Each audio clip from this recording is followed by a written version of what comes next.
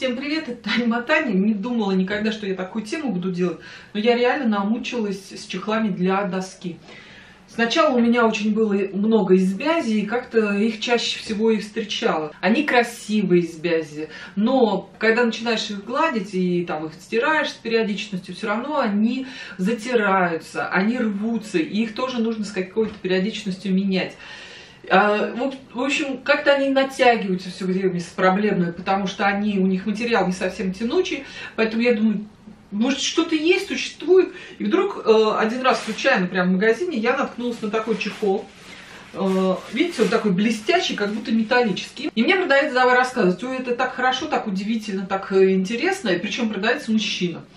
Я такая думаю, действительно, а может быть интересно, а может быть надо попробовать. Чего же я все время бязь-то беру? Я взяла, как раз заменила, думаю, у меня интерьерчик серенький, и чехольчик этот серенький, знаете, как будто в тему.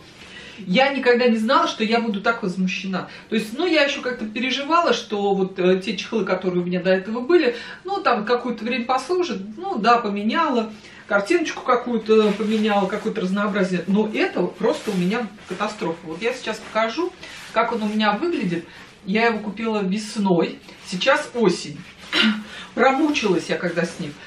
А, он настолько сильно нагревается, просто какая-то катастрофа. То ли у меня какой-то утюг не такой, я уже не знаю. Вот, в результате он мне испортил утюг. Испортил утюг в самый неожиданный момент. То есть я глажу, уже перегладила там какое-то время, какое-то. Вдруг я, э, ну, наверное, я думаю, что э, сработал а, регулятор в утюге, и он до максимума догрелся, ты не можешь это контролировать, пока гладишь. И вдруг я провожу, начинаю гладить рукав, и у меня часть утюга на гладить, ну, как бы на материале, на рубашке, и там все нормально. А часть вот здесь. И у меня образовалась вот эта вот полоса. Вот, сначала первая, сначала я, я не думала, потом при другой глажке, видите, то есть я как-то вот пыталась носиком куда-то подлезть, и появилась еще вот такая вот.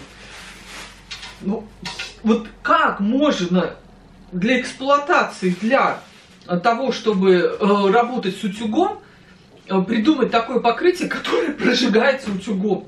Ребята, ну это какой-то вот, я не знаю, это, это за, запредельно. Более того, я в него несколько раз обжигалась.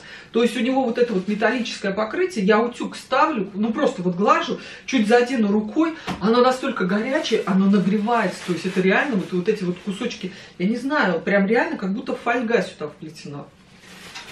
Я мучилась, мучилась. Ну, еще у него процесс одевания, вот мне нравится, когда с этой стороны, то есть с узкой стороны, вот затягивается. Я думаю, что я мучаюсь. Я очистила утюг и поняла, что мне просто срочно нужно э, чехол. Другой чехол. Подошла, стала выбирать. Думаю, ну что, возьму опять бязь. Я была так настроена. Прихожу, стала смотреть, что там продается, и тут мне попался такой классный чехольчик, он текстильный. Я прям э, его потестировала сейчас вот на глажке. Э, и хотела выбросить, думаю, не выброшу. Что это за чехол такой? Вот такой вот, вот так он вы, выглядит. Термостойкое покрытие, объемное 3D плетение. Да, действительно, то есть у него получается, вот он толстенький, он синтетика, синтетическая нитка, и он какой-то такой пористый. Я сначала думаю, не дай бог, это меня прижгется. Знаете, вот такое ощущение, что синтетика же на низких температурах. Ну, наверное, это какая-то вот другая синтетика. Блин, как на нем классно. После того, вот после тех мук, нереально на нем классно гладить. А, дальше, у него такие значки, что пар насквозь проходит, потому что он горячий такой, пористый. Вообще, мне очень понравился. Он такой мягенький, мягенький. Так, дальше здесь что у нас написан? Airmesh. Airmesh. А, город Санкт-Петербург, изготовитель. Чехол изготовлен из материала, произведенного по технологии объемного трехмерного плетения. То есть, представляете, я даже не знала, что такие бывают. И такой способ плетения позволяет создать внутри чехла систему паровых каналов и ячеек для оптимального распределения температуры. Так, дальше. Эффективного отпаривания и облегчения процесса глажения. При отпаривании между вещами и чехлом гладильной доски создается тонкая воздушная паровая прослойка, гарантирующая до двух раз более бережное и эффективное глажение. Может использоваться с различными типами утюгов и парогенераторов, работающих при температуре не более 200 градусов. Я вот, знаете, думаю, может быть, я инструкцию вот э, того чехла не прочитала, и, может быть, там были какие-то ограничения, но, вы знаете, я никогда не думала, что нужно читать инструкцию гладильной э, вот, вот этой вот вещи. То есть я, знаете, так, сняла чехол и выбросила. Вот, потому что я не думаю, что у меня утюг, ну, прям превышал какие-то температуры. Поэтому, вот, так как о наболевшем, напишите, какими вы э, используете. Потому что я, когда приезжаю в деревню, у меня, меня все время еще заставляет подстилать э, какие-то эти, э, там, э, байковые одеялки, да, чтобы было мягкие. Так вот, ребят, вот оно настолько классное, мягкое, вот прям давишь, когда, да, оно прям проминается и такое мягенькое что никаких байковых не надо. Я такая довольна. И действительно, если я довольна, то я об этом с удовольствием рассказываю. Так, штопор вот здесь вот затянулся. И в отличие от бязи, он мне нигде вот... Знаете, я когда бязью пользовалась, она везде у меня ерзала что вот что-то повешу, а она все равно вот ерзала. Ну, из-за того, это отлично натянуто. И у меня вот действительно ушла проблема. Я какое-то время мучилась утюгом. Меня многие спрашивают, какой утюг мне. В результате он меня устраивает.